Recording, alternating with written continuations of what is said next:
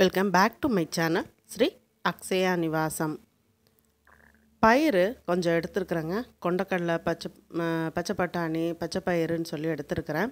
மூணையுமே இப்போ என்ன பண்ண போகிறேன்னா ஒரு கால் கிலோ அளவு மாத்திரம் நான் ஓவர் நைட் ஊற விட்டு முளை கட்டி வைக்க போகிறேன் கொண்டக்கடலை எந்த அளவுக்கு முளைக்கட்டி வருதுன்னு தெரியலை.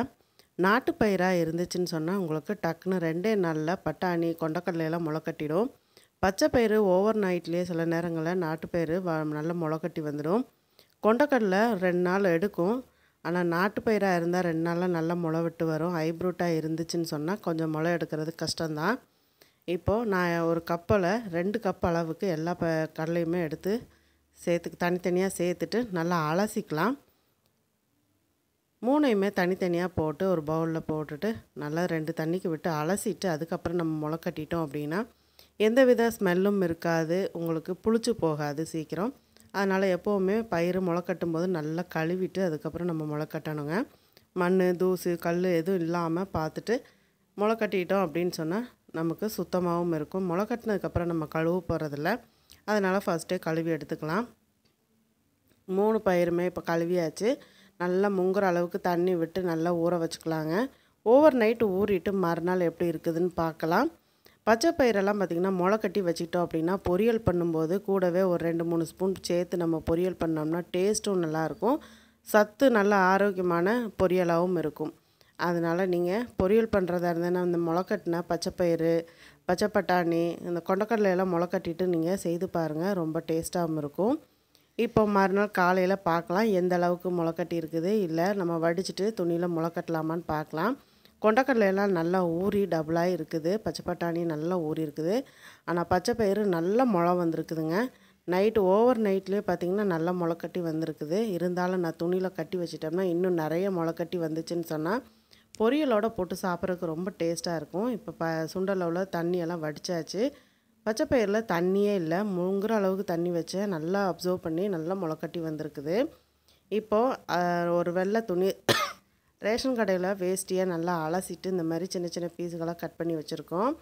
தண்ணி இல்லாமல் வடிச்சிட்டு நம்ம துணியில் மொ முளை கட்டுறதுக்கு கட்டிடலாம். நான் வந்து நல்லா அந்த துணியில் இருக்க பிடிச்சி கட்டி ரப்பர் பேண்ட் போட்டு வச்சிட்டோம் அப்படின்னு சொன்னால் உங்களுக்கு காற்று போகாது. நல்லா இறுக்கமாக இருக்கும்போது சீக்கிரமாக நல்லா முளை கட்டி வரும். கேப் இல்லாமல் நல்லா டைட்டாக பண்ணிக்கோங்க. அப்போது நல்லா முளை கட்டி சீக்கிரம் வந்துடுங்க நீங்கள் இன்னும் ஸ்ரீ அக்ஷயா நிவாசம் சேனலை சப்ஸ்கிரைப் பண்ணலன்னா சப்ஸ்கிரைப் பண்ணிக்கோங்க. சப்ஸ்கிரைப் பண்ணும்போது ஆளுங்கிற பெல் பட்டனோட சப்ஸ்கிரைப் பண்ணிக்கோங்க. அப்போ தான் நான் போடக்கூடிய வீடியோஸ் எல்லாம் உடனுக்குடனே நோட்டிஃபிகேஷனில் கிடைக்கும். துணியில் முளைக்கட்டுறதுக்கு அந்த துணியில் சுற்றி கட்டலாமான்னு பார்த்து கட்ட முடியல. அதனால் அந்த சுற்றி உள்ள துணியை நல்லா டைட்டாக இழுத்து பிடிச்சிட்டு ரப்பர் பேண்ட் போட்டு வச்சுட்டேன் இப்போ மூணுமே அதே மாதிரி. நம்ம ரப்பர் பேண்ட் போட்டு நல்லா இருக்க டைட்டாக கட் ப கட்டி வச்சிடலாம்.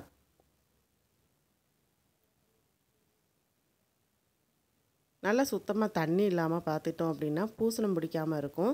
சில நேரங்களில் தண்ணி இருந்துச்சுன்னா அடியில் உள்ள பயிரெல்லாம் வந்து கடலையெல்லாம் பூசணம் பிடிக்க ஆரம்பிச்சிடும்.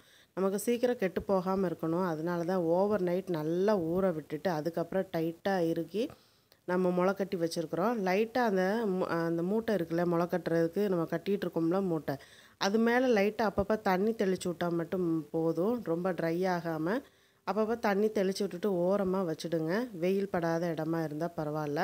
நம்ம கிச்சனில் வெயில் இல்லாமல் கொஞ்சம் குளிர்ந்தால இருக்கிற இடமா பார்த்து வச்சுடுங்க. அப்போ அது பாட்டுக்கு நல்லா சீக்கிரம் முளைக்கட்டி வரும். நான் ரெண்டு நாள் கழித்து இந்த கொண்டக்கடலையை முளக புட்டுக்கு கிரேவி பண்ணலான்னு சொல்லி எடுத்து பார்த்தேன். வாங்க எப்படி இருந்துச்சுன்னு நான் உங்களுக்கு காமிக்கிறேன். வீடியோவை ஸ்கிப் பண்ணாமல் பாருங்கள் ஸ்கிப் பண்ணாமல் பார்க்கும்போது நான் அந்த ரெசிபி வந்து ஃபுல்லாக எப் டேஸ்ட்டாக எப்படி பண்ணுறதுங்கிறதும் புரியும்.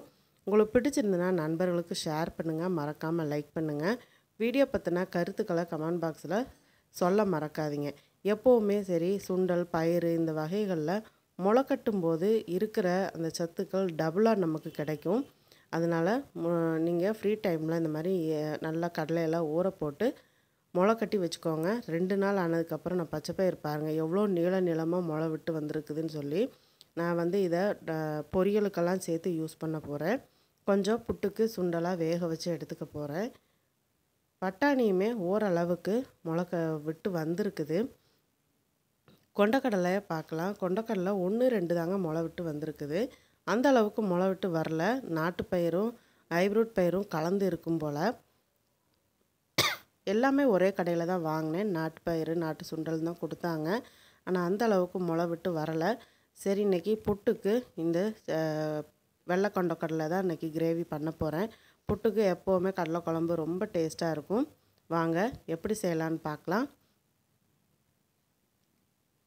பச்சைப்பயிரை ஒரு டிஃபன் பாக்ஸில் போட்டு ஸ்டோர் பண்ணி ஃப்ரிட்ஜில் எடுத்து வச்சிட்டோம் அப்படின்னா பொரியல் பண்ணுறப்போ எல்லாம் சுண்டலாக தாளித்து கூட நம்ம கொடுத்து குழந்தைங்களுக்கு கொடுக்கலாம். நம்மளும் சாப்பிட்லாம்.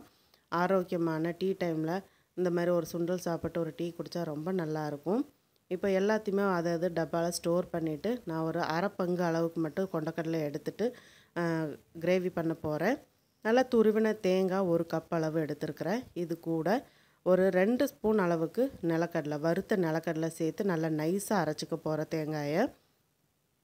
இப்போ தேங்காய் நல்லா நைஸாக அரைச்சி எடுத்துகிட்டு வந்தாச்சு. வாங்க கடலை குழம்பு செய்ய ஆரம்பிச்சிடலாம். குக்கர் அடுப்பில் வச்சுக்கோங்க. மூணு ஸ்பூன் அளவுக்கு ஆயில் சேர்த்துக்கோங்க.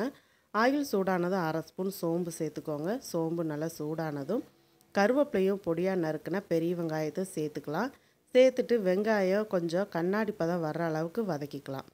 கொஞ்சமாக உப்பு சேர்த்துட்டு வதக்கிக்கோங்க. கடலை வந்து நம்ம தனியாக வேக வைக்கணும்னு இல்லை. ஆல்ரெடி ரெண் நல்லா ஓவர் நைட் ஊறிட்டு ரெண்டு நாள் முளைக்கட்டுறதுக்காக லைட்டாக தண்ணி தெளித்து தெளித்து தான் நம்ம முளைக்கட்ட வச்சுருந்தோம். அதனால் அது ஈரப்பதம் இருக்கத்தான் செய்யும். அதனால் நீங்கள் தனியாக வேக வைக்கணும்னு இல்லை.